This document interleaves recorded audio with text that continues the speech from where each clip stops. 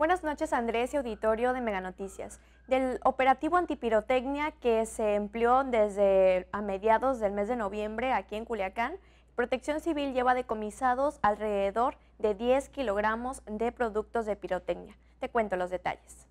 Más de 10 kilogramos de pirotecnia se ha decomisado en la ciudad de Culiacán gracias al operativo antipirotecnia para sancionar la venta de estos dispositivos en la vía pública, informó Marco Antonio Martínez de Alba, director de Protección Civil Municipal.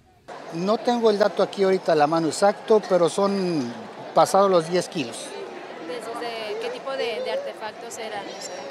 De todo tipo, de todo tipo. Ahorita, eh, de acuerdo al bando, o sea, pirotecnia es pirotecnia. O sea, no hay distinción.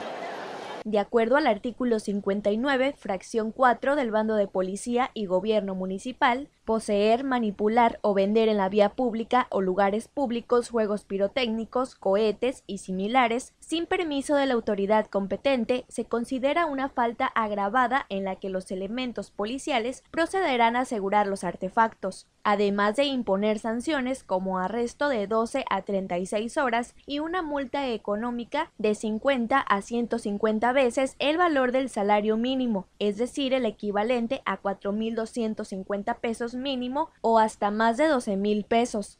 Jesús Estrada Ferreiro, alcalde de Culiacán, señaló que los operativos en conjunto con Protección Civil y la Policía Municipal continúan para evitar que se venda o manipule todo tipo de pirotecnia en la vía pública. Además, explicó que por las fiestas decembrinas implementarán más operativos de prevención, uno de ellos para evitar que las personas que poseen armas de fuego las accionen durante las fiestas y posadas, poniendo en riesgo la salud, vida e integridad de las personas que no las, no las accionen, porque una bala perdida le puede caer a un hijo de la misma persona que lo disparó.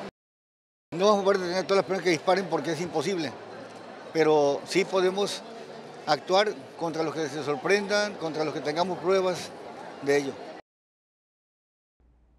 Y bueno, Andrés, te comento que fue el año pasado cuando sucedió un accidente que esto pues provocó la muerte de dos niños, dos menores aquí en el municipio de Culiacán, supuestamente por la manipulación de pirotecnia y este operativo es precisamente lo que busca que es prevenir que sucedan este tipo de accidentes o se, o se atente contra la vida de una persona. Esa es toda la información. Regreso al estudio.